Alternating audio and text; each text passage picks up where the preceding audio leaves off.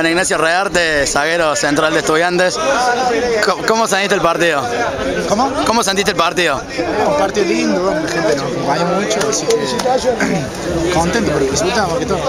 ¿Qué, qué sensaciones te quedan cuando volviste la titularidad justo contra Talleres? Sí, algo muy lindo y bueno, con suerte se nos dio el, el triunfo y lo importante es bueno, que el plantel está unido y juegue el que juegue hace lo mejor, ¿no? ¿Te emociona el acompañamiento de la gente?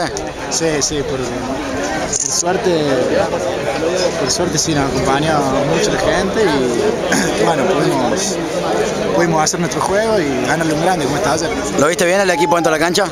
Sí, muy bien. A el primer tiempo más que todo, después el segundo tiempo nos cuidamos más, no, no lo salimos a buscar tanto, un poco por el resultado, otro poco porque nos llevaron ellos, pero bueno.